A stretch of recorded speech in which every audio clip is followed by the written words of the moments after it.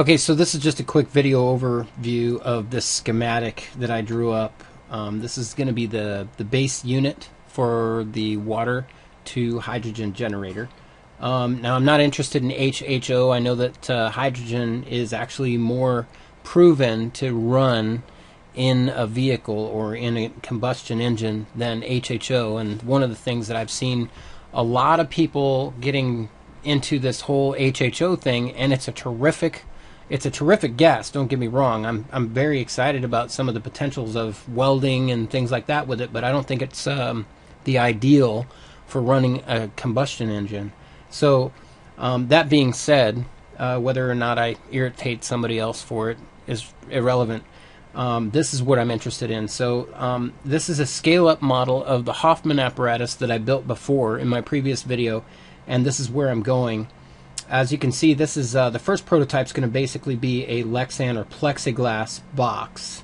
And inside that box is going to be a stack of 50 plates that are bolted together and separated by washers, and another 50 plates that are bolted together and separated by washers on this side.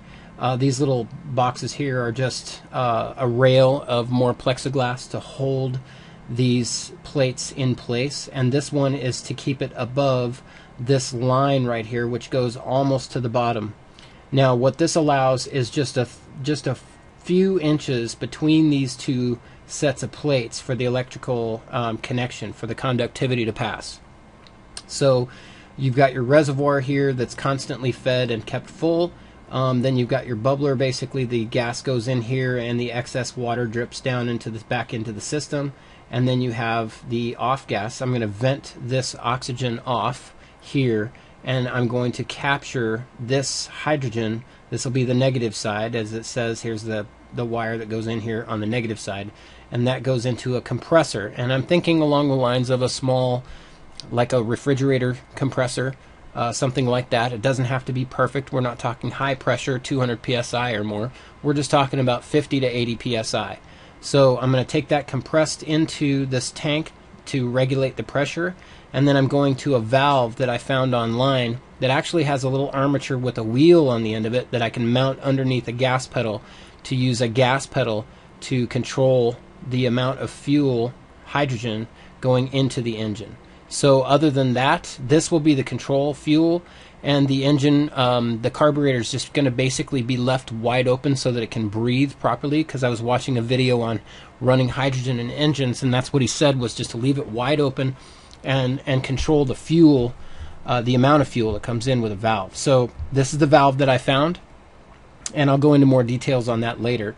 Um, so this is the system. If anybody has um, plates or they have a box or something like this and they want to try this, I would love to see somebody else work on it. Right now, I'm waiting for my plates to come in, and I just ordered some Lexan. So we'll see how that comes in. Um, now, I did see an HHO unit set up on a compressor, um, but uh, that's going to be um, that's going to be dangerous. So I wouldn't recommend it. Pressurizing HHO can be dangerous, and and not only that, but it's also very volatile. Um, if you pressurize it, it's likely to revert back to its original state, and that's going to make that tank really hot. Um, when it reverts back, that energy is going to be released. So that's not what I'm interested in. I am interested in hydrogen and pure hydrogen input.